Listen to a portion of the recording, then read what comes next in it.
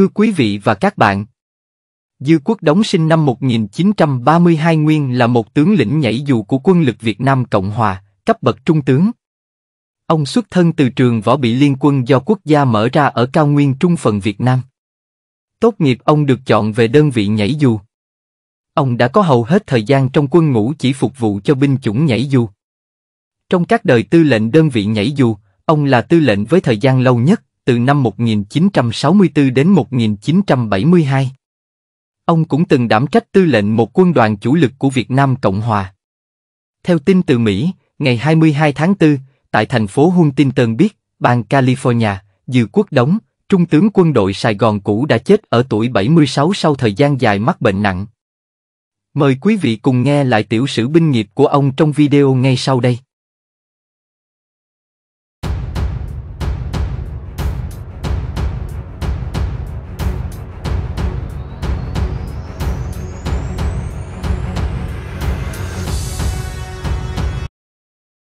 Đầu năm 1975, Dư Quốc Đống, khi đó là tư lệnh quân đoàn 3 của chính quyền Nguyễn Văn Thiệu, phụ trách khu vực Sài Gòn và 11 quận xung quanh, đã xin từ chức, sau khi không xin được tăng thêm binh lính cho trận Phước Long và chạy khỏi Việt Nam, vào những ngày cuối tháng 4 sang tá túc tại Mỹ. Hơn 30 năm qua, ý thức được vị trí của một kẻ thất trận, Dư Quốc Đống đã sống rất lặng lẽ cho tới tận ngày tàn cuối cùng.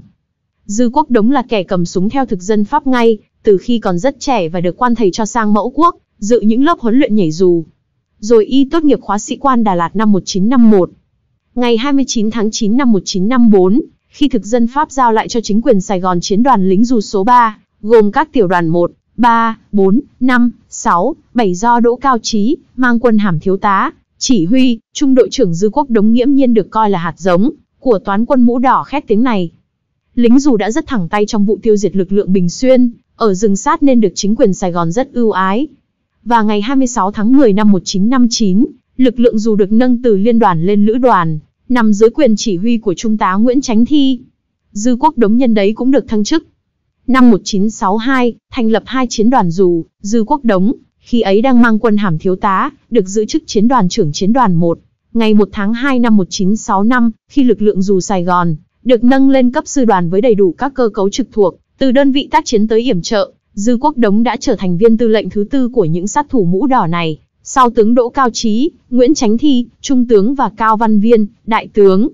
Và y đã ngồi ở vị trí đó cho tới năm 1973 với quân hàm Trung tướng. Người kế vị y ở ghế tư lệnh dù cho tới khi sụp đổ chế độ Sài Gòn, tháng 4 năm 1975 là chuẩn tướng Lê Quang Lưỡng. Chính ở trong lực lượng dù, Dư Quốc Đống đã được coi là đại ca của những viên tướng như Nguyễn Khoa Nam, Ngô Quang Trưởng, Lê Quang Lưỡng và Phạm Văn Phú. Dư Quốc Đống được coi là viên tướng đẹp mã của quân đội Sài Gòn, vóc dáng cao lớn, lông mày rậm, mắt to. Y đã gây nên nhiều nợ máu đối với đồng bào trong các cuộc hành binh tàn bạo, ở nhiều vùng trên chiến trường miền Nam. Nói một cách công bằng, Dư Quốc Đống cũng là người biết giữ chữ tín theo kiểu hảo hán giang hồ, với những kẻ đồng hội đồng thuyền. Người ta kể lại rằng, giữa những năm 60 của thế kỷ trước, trong cơn sốt đảo chính và lật đổ liên tục ở Sài Gòn, có lần hội đồng tướng lĩnh của quân đội Sài Gòn, phải ngồi lại với nhau để bỏ phiếu buộc tội Trung tướng Nguyễn Chánh Thi, về việc ông ta đã ra mặt ủng hộ cho các Phật tử, ở vùng y chiến thuật biểu tình chống lại sự thối nát của chính quyền. Phần lớn những viên tướng có mặt đều phủ thịnh, và bỏ phiếu thuận, duy chỉ có hai phiếu trắng. Khi một viên tướng to tiếng nói, tội của tướng Thi đã quá rõ ràng, tại sao có người lại bỏ phiếu trắng, ý nghĩa gì đây? Thì Dư Quốc Đống đứng phát lên nói. Tôi đã bỏ phiếu trắng đó. Trung tướng Thi là thầy tôi, Trung tướng viên Cao Văn Viên cũng là thầy tôi, nếu bảo tôi chống lại thầy mình, thì tôi không làm. Vậy quý vị muốn xử thế nào thì tôi thi hành. Mặc dầu rất tức nhưng những viên tướng chủ trò trong hội đồng tướng lĩnh quân đội Sài Gòn, cũng đành phải ngậm bồ hòn làm ngọt chứ không dám cổ trách gì Dư Quốc Đống. Là viên tướng dù, Dư Quốc Đống có cách hành xử rất cứng rắn với ngay cả những thuộc hạ, ở gần mình nhất. Các viên sĩ quan cao cấp trong lực lượng mũ đỏ như các tư lệnh phó, lữ đoàn trưởng, trưởng phòng, tiểu đoàn trưởng đều rất hãi khi phải tiếp xúc trực tiếp với Dư Quốc Đống.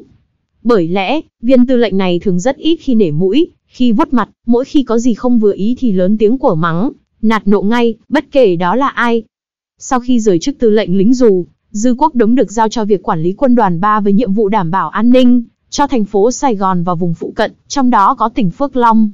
Và địa danh này đã là nơi trôn danh tiếng hão của Dư Quốc Đống, như một tướng có tài cầm quân sau khi nó được chọn làm nơi thử lửa đầu tiên dẫn tới chiến dịch giải phóng hoàn toàn miền Nam thống nhất đất nước. Mặc dù một số đại diện cao cấp của chính quyền Sài Gòn cũ nói rằng, cuộc tấn công của quân giải phóng vào Phước Long, cuối năm 1974 đầu năm 1975 không phải là một bất ngờ, ngoài ước đoán của chúng nhưng quả thực, đây đã là đòn thăm dò chí mạng đối với quân đội Sài Gòn, nói chung và cả quân đoàn 3 của Dư Quốc Đống nói riêng. Phước Long năm 1975 là một tỉnh nằm ở hướng Đông Bắc, cách Sài Gòn 150 km, giáp với Campuchia, nối với Sài Gòn bằng liên tỉnh lộ 1A và quốc lộ 14. Tỉnh này gồm 4 quận là Đức Phong, Phước Bình, Bố Đức và Đôn Luân. Khi đó, Phước Long có khoảng 30.000 dân, phần lớn là dân gốc thượng, Stiengma và Nong, sống bằng nghề đốn cây và cạo mủ cao su.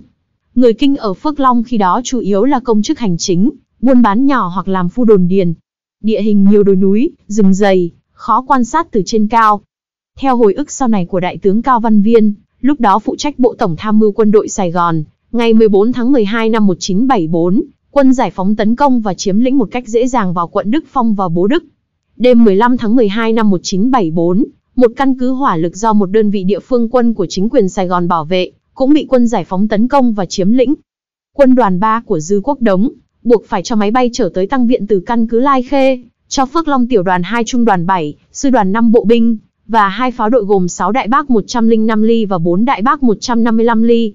Thêm vào đó, còn có 3 đại đội trinh sát của các sư đoàn 5, 7 và 25 bộ binh.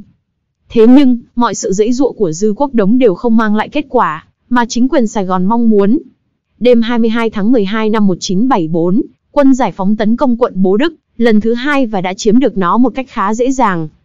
Ít ngày sau 24 tháng 12 năm 1974, hai sư đoàn 7 và 3 của quân giải phóng, vừa được thành lập ở miền Nam, khác với sư đoàn 3 đang hoạt động ở Bình Định, đã tấn công và làm chủ quận Đôn Luân. Như vậy là trừ quận lị Phước Bình và TP Phước Long, nằm trong danh giới quận vẫn chịu sự kiểm soát của chính quyền Sài Gòn, gần như toàn bộ tỉnh Phước Long hoàn toàn nằm trong tay quân giải phóng. Đêm 30 tháng 12 năm 1974, quân giải phóng lại tiếp tục tấn công Phước Bình, vòng đai phòng thủ của tỉnh Phước Long. Trận đánh chỉ diễn ra từ nửa đêm cho đến chiều hôm sau thì kết thúc. Lính của tiểu khu và của tiểu đoàn 2, trung đoàn 7 thuộc quân đoàn 3 của Dư Quốc Đống, tháo chạy về tổ chức phòng tuyến mới ở phi trường sông Bé. Tuy nhiên, mọi sự đã dần được định đoạt khi 6 giờ sáng 1 tháng 1 năm 1975, quân giải phóng pháo kích mạnh vào phi trường Biên Hòa rồi tấn công đánh thẳng vào TP Phước Long, từ hướng Nam. Ngày 2 tháng 1 năm 1975, tỉnh trưởng Phước Long xin phương tiện tải thương, tiếp viện và quân bổ sung nhưng tất cả liên lạc từ Phước Long ra ngoài bị cắt đứt.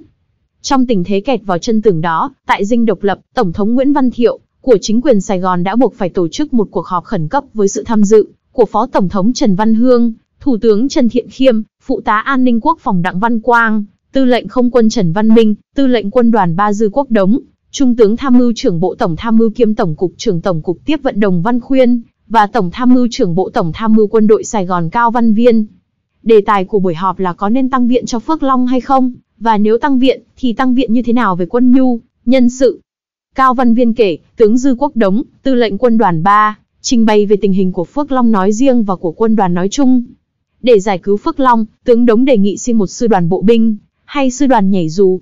Quân tăng viện sẽ đổ bộ xuống hướng Bắc Phước Long, bằng trực thăng dưới sự yểm trợ tối đa của không quân. Trình bày xong ý kiến, tướng Đống xin được từ chức, viện cớ là từ khi nhậm chức tư lệnh quân đoàn, ông đã không đủ khả năng giải quyết được tình hình quân sự của vùng.